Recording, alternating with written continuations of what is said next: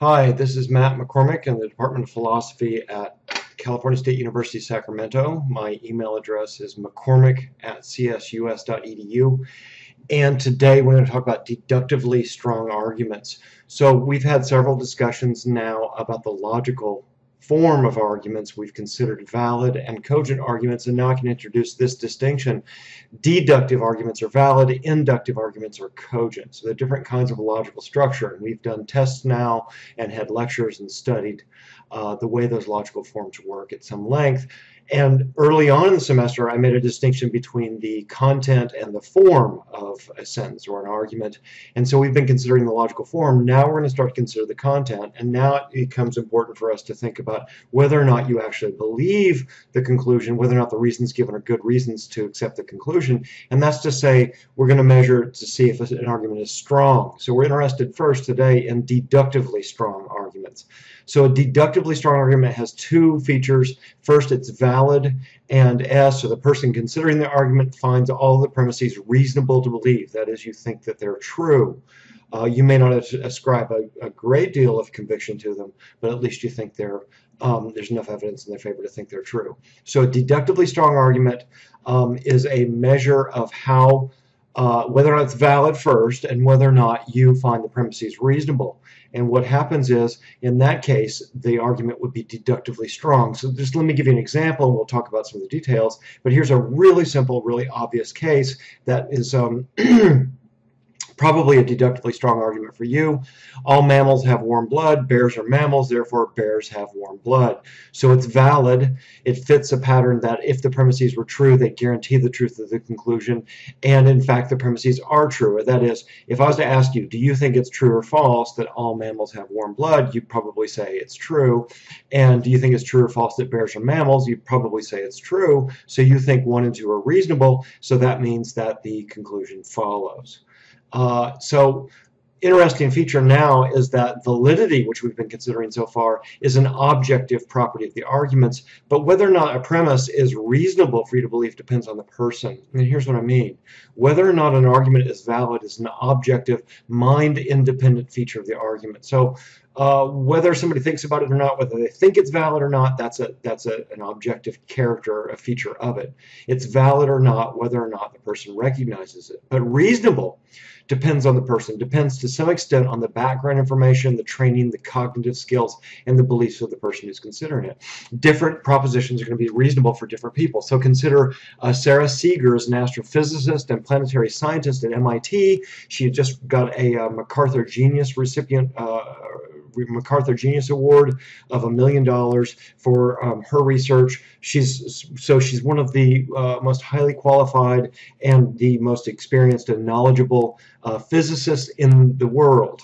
Uh, right now, and contrast her to uh, there's a very small tribe of people, the Sentinelese, um, are, by many people's reckoning, the most isolated humans on the planet. They're still living in the Stone Age. They uh, use uh, spears and rocks to hunt, and they have resisted and rejected any contact with the outside world.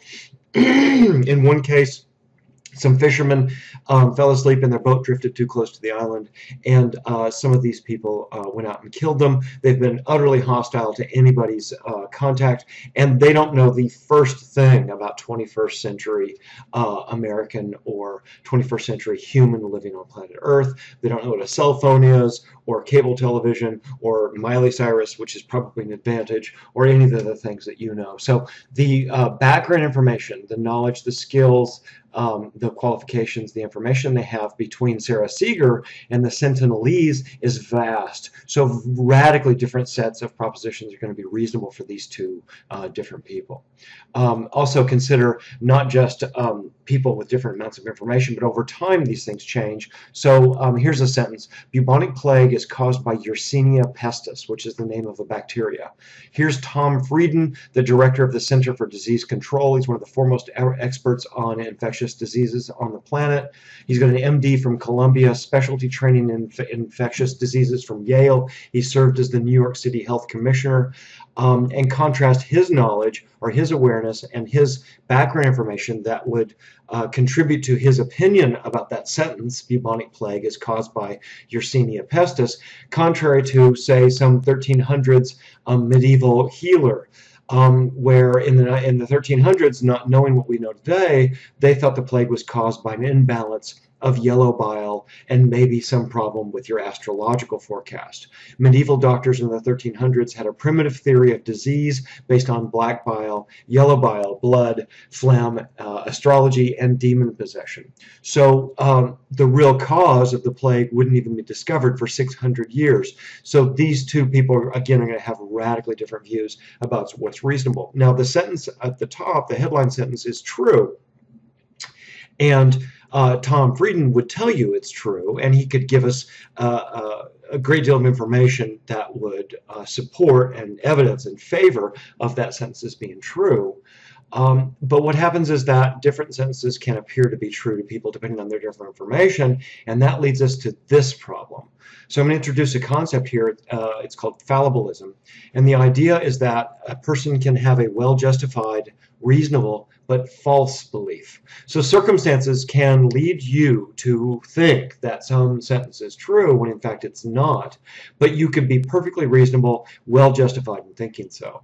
That is, if the circumstances conspire or the time or the uh, era or the information that's available all constrain you and lead you to some conclusion, it may be in fact false, but nobody could have known any better given the circumstances. So again, um, in the 1300s, it was reasonable for some illiterate peasant in a French village to think that bubonic plague was supernatural or caused by demon possession. Um, that same peasant in that French village couldn't possibly know in the 1300s that in 1894 we're going to discover the Yersinia pestis bacteria. Um, so now, knowing what we know, knowing what Dr. Tom Frieden knows, we should abandon the medieval belief because we know better. But in the 1300s, they had no idea. They had a well-justified, perhaps reasonable uh, belief that bubonic plague was uh, had a supernatural cause, or it was some problem with your black and yellow bile or something. So they may well have had good reasons for thinking that, but they were just mistaken. Um, similarly, here's another example. So consider uh, John, uh, who has a typical K through 12 American education. He's completed two years of college, including some geology, physical sciences, and geography classes. So imagine that John's your roommate. And John confronts or considers this argument. Or maybe you ask John, why do you think the earth is round? And he might say, well, if my textbooks and my teachers are reliable, then the earth is round. And I think that generally my textbooks and my teachers are reliable, therefore the earth is round. And actually, that's probably very much like the argument that would lead you to think the earth is round. The reason you believe it is probably not because you checked it yourself, but because your textbooks and your college professors told you these things. So you've got some evidence, but it's indirect um, testimony from experts. You don't think the earth is flat. Okay, so for John, this argument then, because he's had a professor tell him so, because his textbook said so, maybe because he's ran Google Earth, um, because he's run Google Earth, uh, this argument is valid. It has that format that we saw a few weeks ago. If P then Q, P therefore Q. It has, modus, it has the modus ponens structure that we talked about as being valid. And John believes the conditional in one. Now, um, we're going to get to a second. John believes both, both premises, but consider the first premise. What does the first premise say? Um, the second one's perhaps a bit easier to think about for a moment. John reflects on two and decides that for the most part, they are reliable. His textbooks and his teachers aren't perfect. They certainly are not, but they're generally trustworthy. So what does one say? Well, one says, if my textbooks and teachers are reliable, then the earth is round. What's that premise doing here? Well, what it's doing, in effect, is it's um, informing us that his textbooks and his teachers have told him that the earth is round. If they're if what they say is right, then the earth is round because they say it's round. All right, so we've got a deductively strong argument for John. It's valid and he believes the premises, so he's rationally committed to accept the conclusion. He ought to accept the conclusion on pain of irrationality. He ought to accept that conclusion, and he does, and that's why you accept it. It's perfectly fine. Okay, so consider another example. Um, here's an argument that uh, you might think is uh, deductively strong for Marion. And in fact, you should think that. So suppose Marion believes premise one. The United States has won every war it has ever fought. She had a poor education and she had lots of people she trusts who told them who never even mentioned Vietnam or they were mistaken about Vietnam too. So she believes one mistakenly. And we don't need to like go into the details about this. Just imagine that Marianne's not well informed or that, that she's getting her information from bad sources. I have to pick on Fox News a little bit here because they're infamous for feeding out bad information. Um, uh, so suppose Marion thinks that we, uh, that the United States always wins at war, its wars, and then somebody mentions that, that we fought a war in Vietnam and she doesn't know much else about it, so she just figures that we won. So this argument would be deductively strong for Marion, even though it has a false premise. And that's to say she believes one and two, and it's valid, so it's strong for her. But somebody else who looks at it um, me, for instance, I look at premise one and go, no, well, no, premise one is false. At least Vietnam was a loss. So one isn't true. And that's the exception that uh, proves the rule in this case. Okay, so what about this argument? Here's the same argument for somebody else. The United States won every war it's ever fought. The United States fought a war in Vietnam. Therefore, the United States won the war in Vietnam. Well, this argument would be weak for John, for example, because he doesn't believe premise one. He knows about Vietnam and he rejects it. So the objection here would be John thinks correctly that Vietnam was a war the U.S. fought but lost. That's to say that Vietnam is a counterexample to premise one. Now, what's a counterexample? Well, we're gonna, one of the things we're going to do this semester is talk about what proves a sentence false. And in this case, a counterexample is what would prove premise one false because one makes this universal generalization. It says that all A's are B's. And the way you represent that um, diagrammatically is that the class of all A's, the smaller circle, fits inside the class of all B's. So if somebody claims that all A's are B's, what would be a counterexample? It would be an A that's not a B, an A that's outside of the B circle. So uh, all swans are white. What would it take to disprove all swans are white? A black swan. What would it take to disprove all Americans were born in the United States? We need an American who was not born in the United States uh, Arnold Schwarzenegger, one of my other favorite examples, he would disprove that sentence. He's a counterexample to the all A's or B's claim.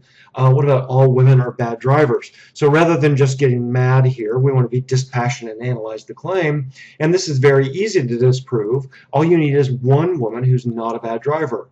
And I think we can make a good case that since she's in NASCAR, she's a much better driver than most of us, um, that Danica Patrick is not a bad driver. What about all women are poor at business?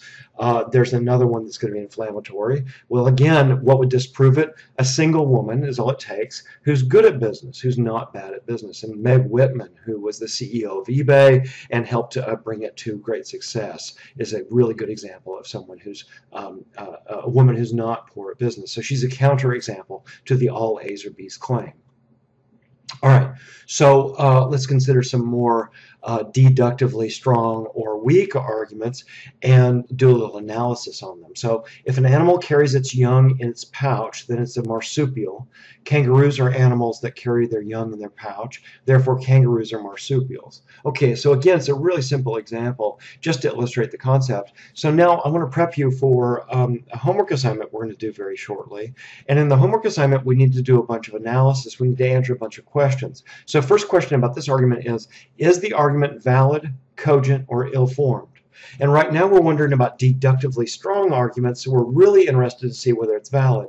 And in fact, this one is valid. Okay, so that's a valid argument. Now, what about the premises? Now, as you see it, and consider the premises separately, um, are the premises true, false, or do you suspend judgment?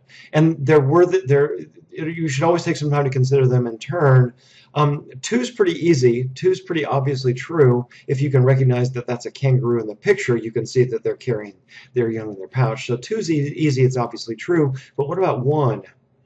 Now, most folks, if you remember, and here's the here's the kicker: if you remember what a marsupial is, you'll think that one is true. But you might not remember what that term marsupial means, or you may not have heard it before, or you may not have taken the time to look it up. So you might not be sure. You might just look at one and go, uh, I don't know. I'm not sure about one. So in that case, you might suspend judgment. Now, here's where things split out because one person might look at one and two and say these are true and true, and another person might look at one and say, well, I'm suspending judgment about one, but I think two is true. So the, this argument is going to have a different status. It's going to be deductively strong for the person who thinks that both, both premises are true, but it will be weak for anybody who suspends judgment or thinks that any of the premises are false. All right, so if you, SJ, if you suspend judgment about a premise or one or more premises, or if you think a premise is false, then the argument's automatically weak because the um, criteria for deductively strong arguments is that it must be valid and it must uh, you must think that the premises are true. So you must have, have true across the board. Okay, let's consider some other examples. What about if an animal is a cold-blooded reptile then its body temperature is affected dramatically by the ambient temperature. Snakes are cold-blooded reptiles, therefore snakes' body temperatures are affected dramatically by the ambient temperature. Okay, so first question, is the argument valid cogent, or ill-formed. And you ought to be recognizing this as a valid argument form. We've seen this lots of times now, so it ought to be easy. That's valid. If those premises are true, they guarantee the truth of the conclusion. So it follows the pattern and fits the bill for being valid. Now the question is, do you think each one of the premises is true, false, or do you suspend judgment? Now, um, you might, again, suspend judgment about premise one. And I've heard people do this because they look at it and say, well, I'm not sure what ambient means. Now, what I would encourage you to do, for God's sake, is go look it up at the dictionary, right? You don't use Google. So if you run into a word on a homework assignment or a problem, or reading the newspaper for that matter, uh, look it up in the dictionary and find out what it means. And you'll add a new word to your repertoire and you'll be able to impress your friends and, and uh, get a hot date, maybe, with the right person.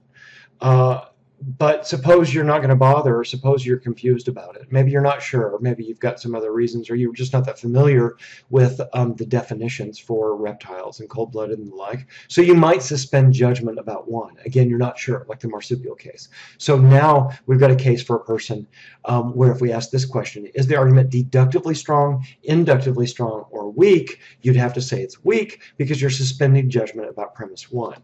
Now I haven't said anything about inductively strong arguments yet. I'm going to soon. But for today, we're just going to look at deductively strong and weak arguments. And for now, I can say that if you um, think any of the premises are false, if the argument is ill-formed, or if you suspend judgment about any of the premises, then that argument is going to be uh, is going to be weak. That's an automatic disqualification. So the strict requirement here for a deductively strong argument is it's valid and you believe the premises. Now, what about this one? If mega doses of vitamin C prevent colds, then people who take them would get fewer colds than people who don't. People who take mega doses of vitamin C don't get fewer colds than people who don't.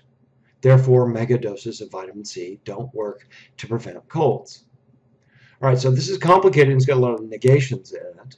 The first question is, is the argument valid cogent, or ill-formed. And to recognize that this follows that modus tollens pattern. It says if P then Q, um, uh, if, if P then Q, and the second premise is uh, not Q, therefore not P. Right, so that's a valid argument pattern that works, that's perfectly fine. So it's a candidate to be deductively strong. But now what about the premises? Do you think that one is true, false, or suspend judgment? Do you think two is true, false, or suspend judgment? So I'll just give away what it is for me versus what it might be for you. So premise one, if mega doses of vitamin C prevent colds, then people who take them would get fewer colds than people who don't that seems to make sense, right? I mean, lots of people seem to think that if you take a lot of vitamin C, that'll keep you from getting cold. So if we compared those people to people who weren't taking the vitamin C, you'd expect them to get fewer colds. So one makes sense. One seems like that's what it means to say it works or that um, it prevents colds. So I'm prepared to accept one. Maybe you are too. Hope you are too. Now, what about two? People who, do, who take mega doses of vitamin C don't get fewer colds than people who don't take mega doses of vitamin C. Now, honestly, I think you might have contrary experience about this than me, or you might suspend judgment about the, about this than me. I'll just tell you about my situation. I think premise two is true. And the reason is I've actually looked at some of the research on this. They've gone out and done some clinical double-blind uh, trials where they've actually given people mega doses of vitamin C and they've watched to see what the cold rates are. And the cold, the rate of colds in those two groups of people hasn't significantly deviated. So I think that premise two is true. Now, maybe now that you've heard that from me, you might accept it too. But you might uh, on first glance, you might have read two and thought to yourself, well, I took uh, mega doses of vitamin C once, or I've done it routinely, and it's prevented me from getting colds, right? my roommate takes it and doesn't get colds, or I've heard that if you take a lot of vitamin C, then you won't get a cold. So you might have your doubts about two. You might even think two is false the first time you read it, not having heard that bit from me. So notice that as we have exchanges, as we interact, our information changes changes and our evidence changes and the status of some sentence changes and your attitude about it ought to shift around. Your, your beliefs ought to be responsive to the evidence. So if you believe me about two, having and you believe that I've gone and looked at the research and that sounds plausible to you, then you might accept two as well. In which case, if we ask this question, is it deductively strong, inductively strong, or weak? Um, we'd have to say, well, since I find both premises true, uh, that's actually inverted. Since I find both premises true, I ought to, uh, uh, the, the argument's deductively strong for me. And since uh, perhaps, let's imagine somebody who thinks the second premise is false, that argument would be weak for them. So there'd be a good uh, test to see if you catch that inversion there um, from watching the lecture and um, on the quiz. All right, so let's consider an even more controversial example how about this argument? Either humans evolved over billions of years from simpler forms of life, or the Bible is correct, and they were created in their present form 6,000 years ago by God. The Bible isn't correct, and they were not created in their present form 6,000 years ago by God. Therefore, humans evolved over billions of years from simpler forms of life. So we're already getting right to the big religious controversy. Now the question is, let's analyze this argument and separate it out and figure out what's what's good about it, what's bad about it. So first question, is it valid, cogent, or ill-formed? And it's valid. It says either A or B, uh, not B, therefore A. So it's got a very simple, very rudimentary, uh, valid argument pattern, one we've seen before. Now what about the premises? Well, the first premise you might look at the first premise, probably look at the first premise and go, yeah, those are really the two games in town. Either we evolved over billions of years, or the whole Adam and Eve um, Garden of Eden Genesis story is right. And I know lots of people who sort of see those as the two live viable options. So premise one just presents us with two options. It doesn't force us to pick yet. It just says, well, either this happened or that happened. So it's like it's a little bit like saying that the defendant is either guilty or not guilty. Well, either we evolved or the Genesis story is right um, which one of those is going to be right, and that's really what the question is. So now, when you look at Americans, for instance, on premise two, they split out over premise uh, two. So, so some people that we'll call naturalists think that premise two is true. They're going to deny that the Earth is 6,000 years old. They're going to point to well, lots of evidence, and, and, and I, I think they're right about this, right? We've got rocks in your backyard that are older than 6,000 years. Um, so lots of people um, will accept uh, premise two as true, but as many as 40 to 42 percent of Americans are known as young Earth creationists. So when you ask them this question, that's 42, 4 in 10 people, when you ask them this question, um, they will reject premise two, my premise two, and they will say, no, I think that something like the literal um, creation story from the book of Genesis is right. So a, a, very significant minority of Americans actually reject my premise two and think that young earth creationism is correct. So for those folks, if we ask this question, is the argument deductively strong, inductively strong, weak? Well, the naturalist is going to look at it, and because they think premise two is true, they're going to think this, this argument is deductively strong for them, and the young earth creationist is going to find this argument to be weak because they reject premise two. Now, then notice we can zero in this this structure and this system we're using here allows us to zero in on exactly where the disagreement is and what these people are disagreeing about, and we've figured out exactly what it is. It's about premise two, and that's where the controversy would be. All right, so I won't pretend to settle that today. Um, let's consider some other examples. How about this argument? Lots of people I know have insisted that airborne works to make their colds better. I like these cold remedy examples. A school teacher invented it, and she says that it works. If airborne works to prevent colds, then people who report that it works and are, are reliable sources of information, they'd say that it works. Therefore, airborne prevents airborne works to prevent colds. Uh, so the idea, the question, first question is, is the argument valid, cogent, or ill-formed? And the reason I give this argument is that this is conversationally much more like something you hear somebody say. Somebody go, well, I took it and I got better, or I took it, I didn't get a cold. Um, you know, and a, a school teacher invented it, so there's going to be something to it. It says it right there on the box, right?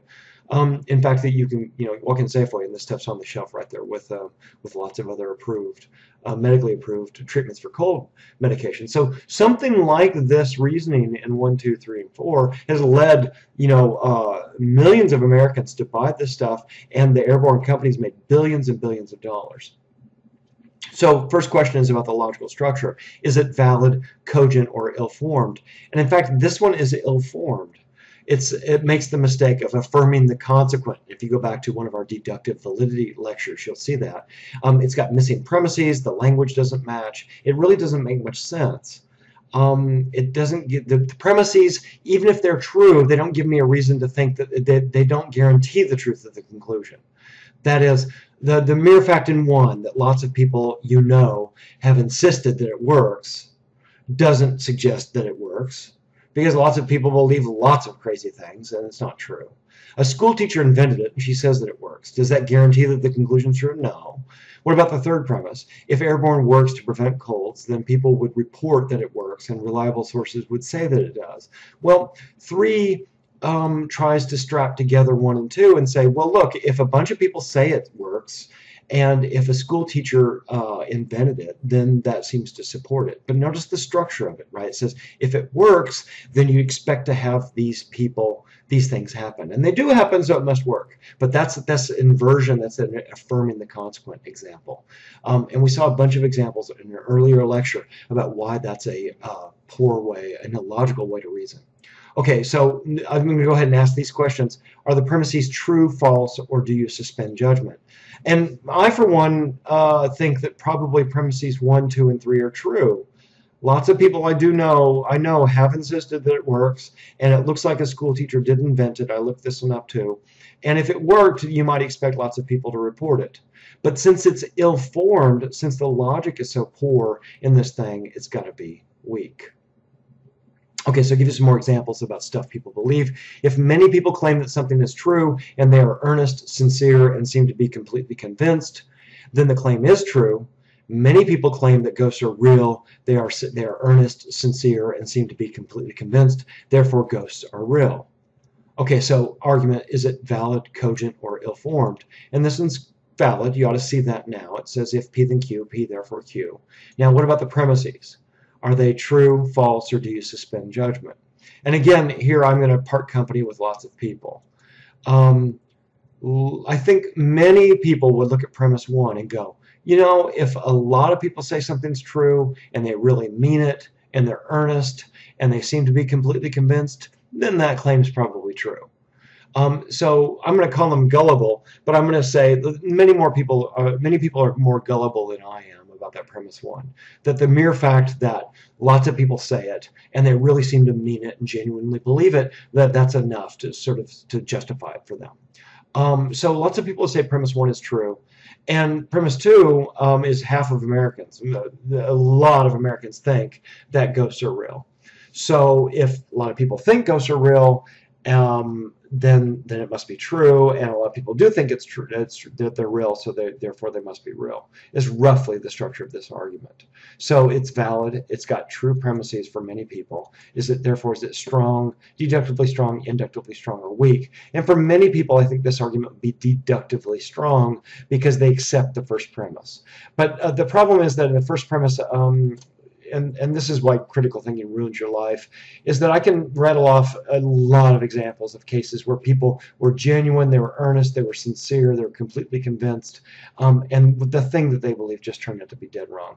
Um, and ghosts is one of them, right? Uh, we investigate these claims and they never pan out. Airborne's another one. Lots of these cold remedies are examples of cases where people really fervently, genuinely believe it.